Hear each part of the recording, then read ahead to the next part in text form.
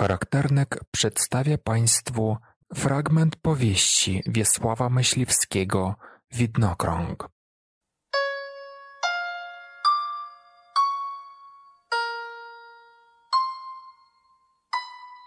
Характерник представляє вашій увазі фрагмент роману Вєслава Мишлівського Видно кіл, котрий належить до рубрики Абсолютні унікати.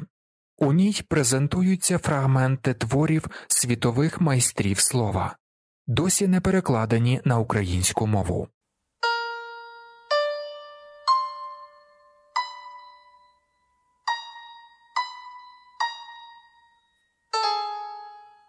Присвячую бабусі, її сестрам і братові.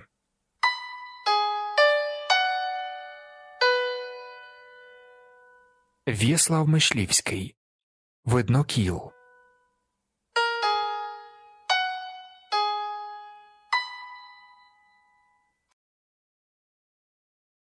Я намагався виправдати себе тим, що це природньо, що так певно і має бути, бо я ж не знав ще тоді, що уже починаю від чогось захищатися. А певно, навіть довго не знав, бо це було начебто поза моєю свідомістю, я шукав різні захисні, звичайні пояснення, викрутаси чи просто брехню. Стало явним лише те, чого я не міг так довго зрозуміти, а може, не хотів, у все більш болісно переживаному відчутті незручності, яке у мене викликали кожні відвідини, у все більш зростаючі з кожними відвіданами чужості до цього місця.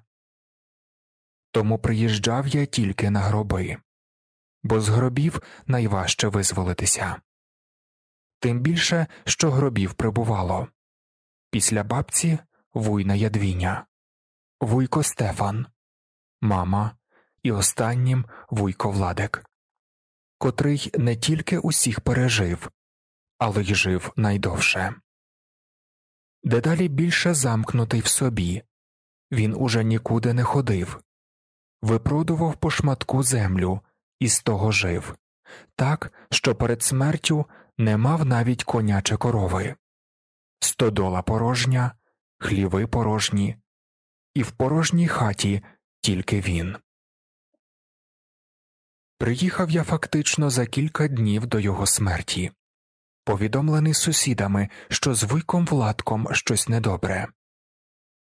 Він сидів в кутку біля печі, загорнутий у якийсь старий коц, з виленялим беретом на голові, чоботи пообв'язувані дротом, зарослий, і тільки очі розжарені так, ніби тією самою гарячкою, що й завжди. Чекаю на бурмістра, сказав. Ти не видів його десь по дорозі, коли йшов від зупинки. Я приїхав машиною. А, то він мусе на коні. Файного мав того коня. Кажу тобі, каштана. Ніколи якось не було нагоди, щоб ми поговорили. Але зараз і він вільніший, і мене нічого так не тримає. Певно, так насправді то тільки зі смертю вуйка Владка я зрозумів, що, власне, ніколи й не залишав цього місця. Бо, хоч це їх гроби, це мій знак, де я є. А навіть хто зна, чи це не тут центр мого видноколу, бо тільки тут я можу зазнавати того болючого, дошкульного відчуття, як помираю за ними і я а не тільки світ довкола мене. І то так звичайно, просто, що це відчуття перероджується у захват, не начебто я став лицем до лиця перед найвищою таємницею краси. Хочеться мені аж зануритися в цьому вмиранні, наче в розквітлому лузі, і дивитися на сонце, що гасне наді мною. Тому отой переляк, котрий мене з часом почав находити з кожними наступними відвідинами, і котрий став причиною того, що все рідше їх відвідував, занурюючись, нібито у збайдужіння. Мав свою причину, власне, у тому, що я дедалі більше наближався до зрозуміння, що це є саме те місце. Можливо, я відшукав це місце і водночас захищався від його відкриття, передчуваючи, що з нього ніколи не вдасться втекти або замінити якимось іншим. Бо де б ми не були, це місце є у нас всередині. І не тільки як пам'ять чи сумління, а як доля. Бо доля це визначена тобі силою гробів просторінь. Коли ми з Павлом увійшли до хати, вуйко Владик сидів за столом, їв з миски горохвянку. Вся хата пахла тією горохвянкою. В одній руці тримав велику байду хліба, в іншій ложку, і голову мав майже занурену в тій мисці, що тільки виленялий берет стирчав йому з тої їжі. Рвучи саме зубами хліб, глянув з надмиски у наш бік і завмер. Було видно, що натужно пробує мене собі пригадати. Може бути, що його заплутала присутність Павла, якого ще не бачив. А за мить якось так дивно скривився, що це, певно, мало бути усміхом, і сказав А, це ти, приїхав. І одразу виправився. Приїхали сте. Я наварив горофінки. Може, поїчте? Горофінка? Кажу тобі, це найліпша їда. На цілий тиждень навариш і потому тільки підігрівається. Загусне, то долиєш води і майже її не зменшується. Ні, дякую, сказав я. Ми їли по дорозі. Ну ну, як їли. Погодився, не наполягаючи. По дорозі можна не раз ліпше поїсти, як у себе. Так, колись по дорозі на ярмарок ми їли рульки з горохом. Кажу тобі, аж мені по тому не раз снилися. Сідайте, нащо стоїте? Тут, на лаві. На щастя, у мене є де сісти. То твій син? Як його звати? Павел, я казав колись вуйкові. А, може, й казав. То так само, як і прадід Павел. А кілько має років? П'ять. Скоро буде мати. Файний хлопець. Я би не сказав, чи до тебе подібний, чи до неї. Очі має більше, ніби її. Вуйко пам'ятає? Як же це я би не пам'ятав? Все пам'ятаю. Навіть там ще до війни, а ніби учора пам'ятаю.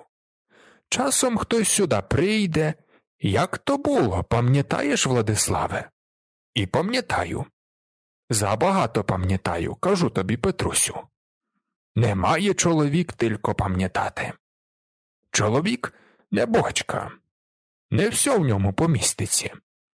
А найгірше, коли зачинає переливатися.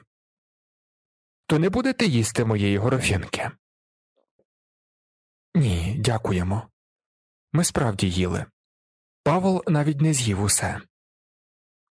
З мухами такий.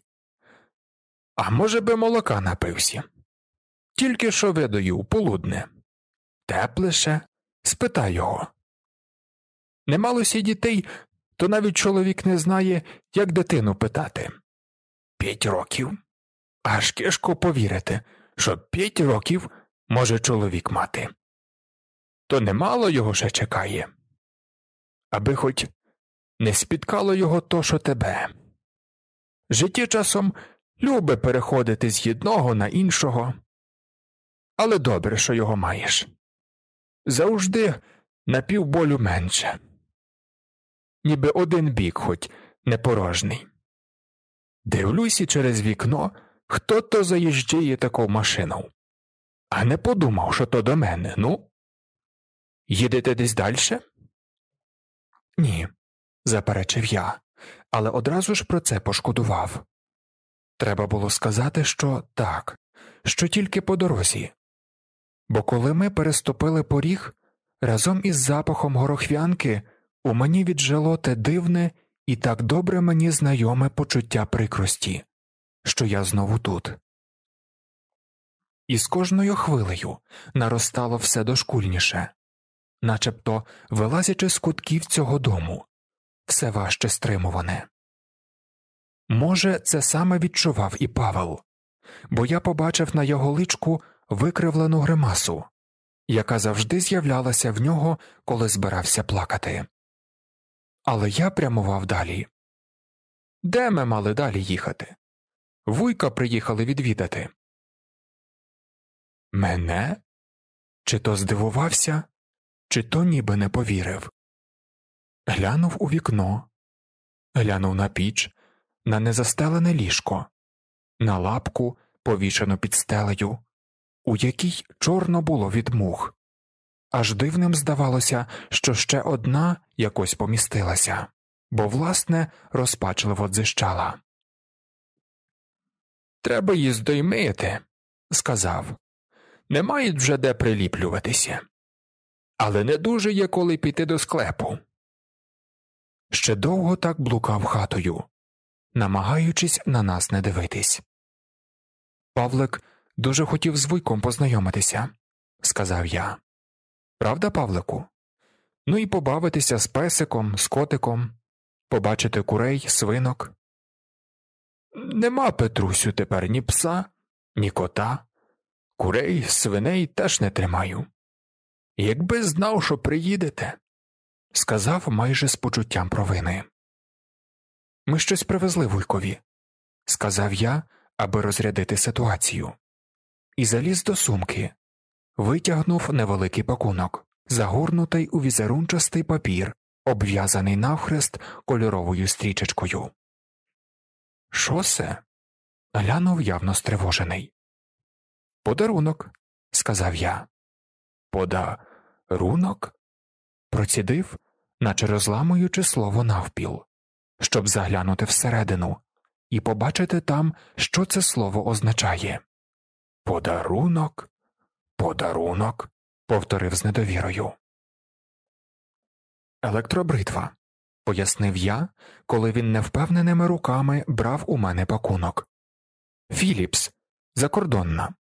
А, і Павлик теж має щось для вуйка. Я витягнув із сумки наступний пакунок. Дай вуйкові Павлику. Бальзам після бриття, одеколон, крем. Він погладив набормосеного Павлика по голівці, після чого поклав обидва пакунки на столі і, дивлячись на них з непевненістю чи побоюванням, що це може бути все ж не для нього, сказав Не треба було, Петрусю. Обличчя його, однак, поволі прояснилось, і поза заросту і старості почали проглядати у якомусь недовірливому усміху очі дитини. Може, власне, так посміхався і він, коли мав п'ять років, подумав я, бо в тих очах замоготів якийсь ясний пломінь. А чи аж так далеко він мусив у своє життя вернутись, щоби вміти усміхнутися? Для мене, ну, подарунок потратився. І від Павлика аж не знаю, що казати. Мені там, Петрусю, багато не треба. Електрична машинка. Ну, а тут світла навіть нема. Відрізали мені зиму, бо не заплатив. Треба буде піти заплатити. Ціле життя бритвою голився. А тепер мало коли. До костьолу часом. О, видиш, зо дві неділи вже не голився. Потягнув рукою по бороді, але ніби не по своєму обличчі. Роботи зараз повно. Але коли би знав, що приїдете, то пішов би до перукаря. Знаєш, у нас знову є перукар в селі. У суботу то би голки не втиснув. Такий має попит. Ага, а той у війну, як скінчилася, то виїхав. Не так зразу, а за якийсь час. Вона теж часом стригла, переважно дітей, о, як Павлик, і трохи старших. Мала до них терпіння. Плакали не раз, кажу тобі, а найгірше, коли їм машинка по голові їздила. А хоч би гребенем чи ножичками, тоді тім теж недобре. Петляв, блукав по словах все більш безпорадний, а погляд мав втуплений у столі перед собою. Раптом підніс голову, а в його очах засвітилося майже щастя. А пам'ятаєш, кручка? І навіть голос йому зробився чистіший, начебто змінений під впливом самого імені Кручак. Кручка я хотів тільки підтакнути, але водночас відчув приплив чи то жалю, чи провини. Може, тому це йому здалося начебто забуттям, бо майже кинув у мене з образою. Ну як же? Мусиш го пам'ятати. Корови з тобою пас, їсти йому завжди носивість. Ходили сте на річку і всюди. Не пам'ятаєш, як від хлопців ті боронив, і не дав нікому ті зачепити. Зубами зразу чіплівся в литку або задок. Він би, певно, і Павлика полюбив. Що ж то був за пес? Вже іншого такого не буде. О, видиш, все якось так то, все. Чи то через війну, чи так, само собою. Пес, а вернулося. Пішло так, пішло сяк. А може, далі на місце стоїть і крутися. А ти не знаєш, чи ти всередині, чи на березі, чи, може, на драбині. І не хочеться тобі хоч би ті два щеблі нижче зійти, ані вище вилізти. Я хотів взяти якогось пса. Ще тенилися тут суки. Я заходив, але ніякий мені не сподобався. Возьмеш малого, а потім виросте тобі не знати що. Може, якась холєра, відки знати. Часом кажу тобі, ніби чув кручка, а переважно вночі. Там гавкає, ту гавкає. Буджуся, що то, певно, злодій. Виходжу на двір, кричу Хапай його кручку, хапай його. Не раз мене аж до саду, то його гавкання закигне. Але й сад який там зари. Дико бузино все заросло. Або виє. Ну, то, думаю, тобі видко час умирати. Бо ми з ним так домовилися, що завиє. А не раз чую, дряпаєся у двері. Відкриваю, а той відразу під скіл. О, і лежить ту, під столом. Хтось му вибив око, пам'ятаєш? Що я надумався, нашукався? Хто і що? Ніби село, не місто, але як голки в копиці сіна шукав. Заповзявся, що знайду, хоч би мав хату за хату догори ногами поперевертати, по кишенях людям шукати. Може, такому розбійникові щодень руку тиснеш, чи слава Ісу Христу один другому кажете?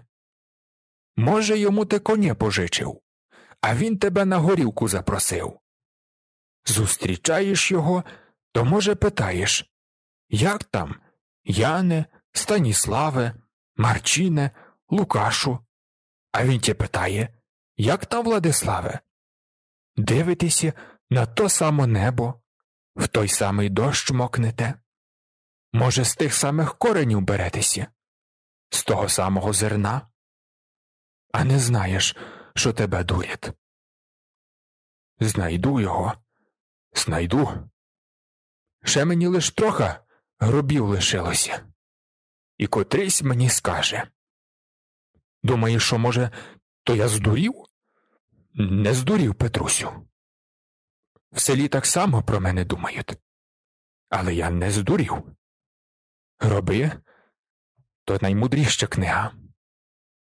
Не довідаєшся від живих, що довідаєшся від мертвих. пройдися селом. То що довідаєшся? О, уж мені без то все помістив.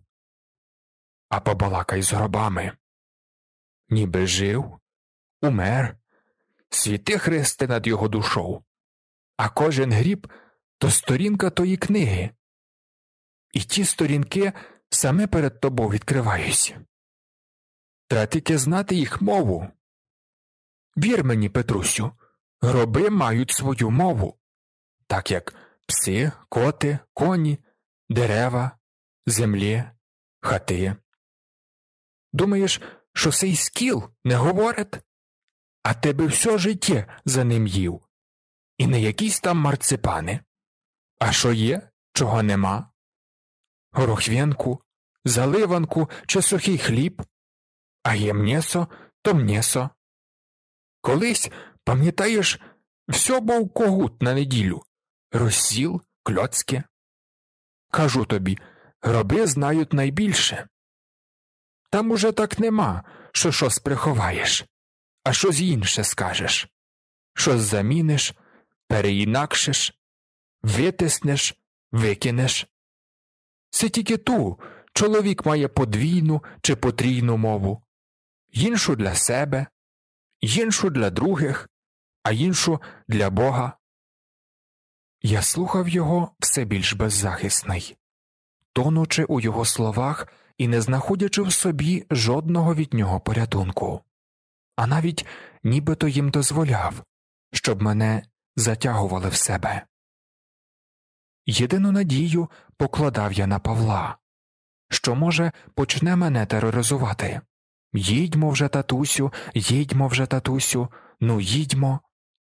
У той час я міг би принаймні сказати, що то були б єдині слова на місці, єдині здатні протистояти словам вуйка Владка.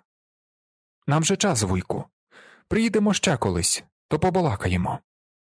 Але нібито на біду палилося в печі, коли ми увійшли, і той вогонь спокусив Павла, відвертаючи його увагу від нас, від хати і, певно, від цілого світу. Запитав тільки вуйка Владка, чи може відкрити собі дверцята, на що вуйко дозволив майже радо, начебто підвернувся йому нежданий спосіб винагородити Павлові розчарування, котре спричинив йому тим, що не мав пса, кота, курок, свинок. А на додачу ми не хотіли ані його горохвянки, ані його молока. А відкрийся, моя дитино, є патики, доклади, палися. Коли би ти не стало, то зразу за стіною під хату є повно патиків нарубаних. Скажи і принесуть. Навіть зірвався і сам доклав пару патиків у вогонь. А коли Павел, присівши під піччю, дивився із завмерлим у подиві личком у відкриті дверцята, додав майже із співчуттям Дитина справжнього вогню не виділа. То як ви там у тих містах жиєте? А видите хоч сонце? Чи тільки лямпочки вам світять весь час? Неонові. Так ніби тепер називаються. Не міг я отож наразі розраховувати на Павла, тим більше, що полум'я, котре розгорілося після докладання патиків знову, поглинуло його цілковито. Дивився на вогонь із зростаючою напругою. А коли ще досить спокійний вогонь почав тріщати, гудіти, начебто не вміщаючись уже в печі, закричав із захватом, котрий міг свідчити, що тільки зараз він несвідомо відчуває свій прихід на світ, бо почув я у тому його захваті водночас ледь вловимий тон переляку. Татусю, дивись, татусю, дивись. І, зірвавшись на рівні ноги, почав тягнути мене за руку до того вогню. Подивись, татусю. Я й звідси бачу, синку. Ну, подивись, ходи. Добра піч, сказав вуйко. Кажу ти, кегне, і зовсім ще не лагоджена, а готується на очах. Мокре навіть палиці. О, з дощу принесу. І так, так як зараз палиці. Тим часом Павел, надутий, що не вдалося йому втягнути мене до спільного з ним захвату, присів знову біля печі, докладав патиків і дивився у вогонь майже нерухомо, начебто пломені вогнища не досягали його очей, і тільки докладав патики. Сідь собі на скільчик. О, є скільчик, бо ти ноги затерпнуть, сказав Вуйко Владик. Але той не чув, задивлений у вогонь. І також не дійшло до нього, коли я сказав Чуєш, що Вуйко сказав? Буде тобі зручніше. Дивився тільки у той вогонь, докладаючи раз за разом патики і не дав, щоб пломені хоч на хвилинку ослабли, осипалися, мало йому гудіти, тріщати. Зовсім уже не звертав на нас уваги. Було у тому щось більше, ніж дитяче насичування чимось досі незвіданим, щось більше, ніж покірність перед вогнем, котра відчувалася як неясне ехо перевісних часів. Може, він знаходив у тому вогні сліди перечуття самого себе, може, щось йому той вогонь обіцяв, а може, вже не міг вийти з того початкового захвату, що ріс у ньому, зневолював його, присунувся ближче до дверцят, потім ще ближче. А в якийсь момент глянув на мене, і я на мить помітив в його очах переляк. Я сказав Відсунься, Павлику, так близько до вогню небезпечно. Мусило це і вуйка Владка занепокоїти, хоч він з трудом відривався від своїх слів, бо, поглянувши у бік Павла, ніби зваблений тріском пломенів, які переламувалися, сказав Ну й скажи, Петрусю, як то є?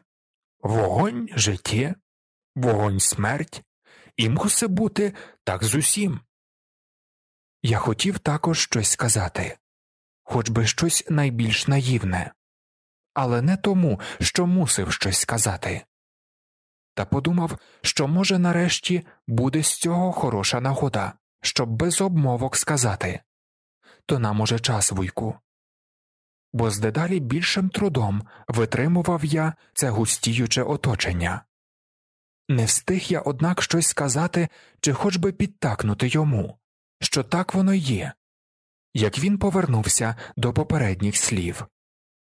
Ну ну, видиш, і так жию, і не жию. Але знайду його, знайду. Кажу ти, що тільки то мене ще тримає. Я зараз став терплячіший, більше шукаю розумом. З необхідності, отже, мусив я слухати його далі, тонучи в тих самих словах, раз за разом будучи зібганий у ту його палаючу пам'ять про кручка, що вимагала жертви і від моєї пам'яті, нібито не могло ніколи закінчитися, що раз почалося, набуваючи вже назавжди прав бути присутнім, начебто незабування було простором сумління а вмирання тільки переходом з часу у простір. Я відчував дедалі виразніше, що з цих його слів, нібито про кручка, нібито про вибите кручка око, вилонювався якийсь жаль до мене. Не можна це було прочитати так прямо.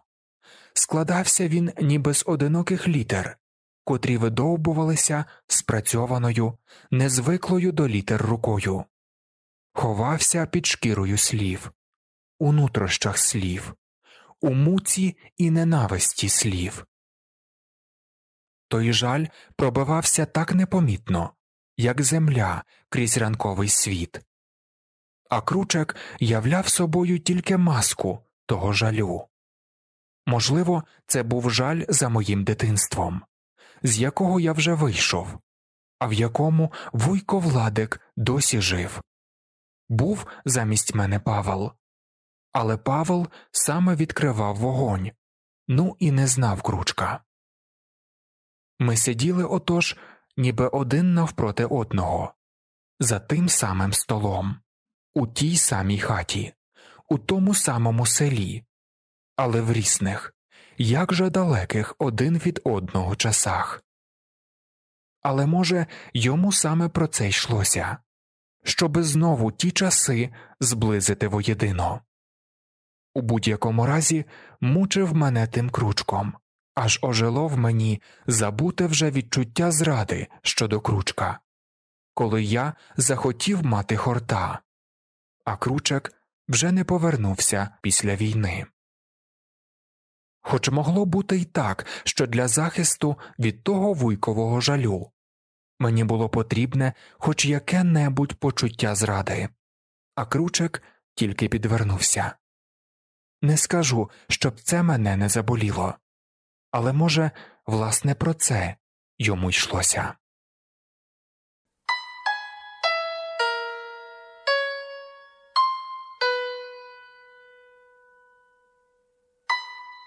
Кінець фрагменту роману В'яслава Мишлівського Виднокіл. Фрагмент перекладений з мови оригіналу і озвучений в рамках рубрики Абсолютні унікати, у якій презентуються уривки творів світових майстрів слова, досі не перекладені українською мовою. Якщо вам подобаються мої аудіокниги, можете підписатися на канал із ними на Ютубі.